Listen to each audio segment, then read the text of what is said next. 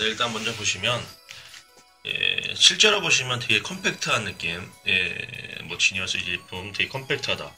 귀엽다. 어, 고급스럽고 좀 뭐 올드풍 느낌, 고전틱하고 그런 느낌이 들지만 되게 좀 귀엽다. 뭐 이런 느낌이 듭니다. 뭐 제가 남성이라서 남자라서 그런지 모르겠는데 디자인을 봤을 때 되게 고급스럽죠. 약간 좀 아저씨풍, 뭐 회사원풍 이런 느낌도 들긴 하지만 되게 일단 이렇게 보시면 뭐 키보드와 비교해보겠습니다.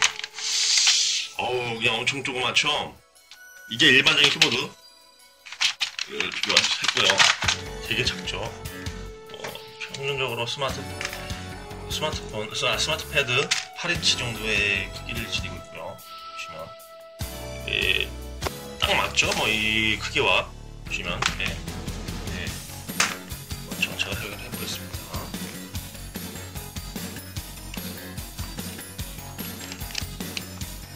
네, 장착은 상당히 좀 뭐라 해야 돼 심플하게 되는 경우 네 한번 제거해 보겠습니다.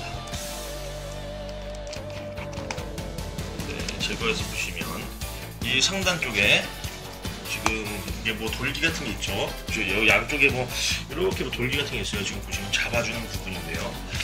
이 부분 이제 여기 같은 경우는 벌어지지 않고 여기도 벌어지지 않고 벌어지지 않고 벌어지지 않고 하지만 여기 부분이 특이하게 벌어집니다.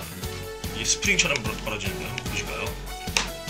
네, 이런 형식으로 스프링처럼 되어 있기 때문에 장착이 훨씬 더 재밌고 쉽다는 걸 알 수 있습니다.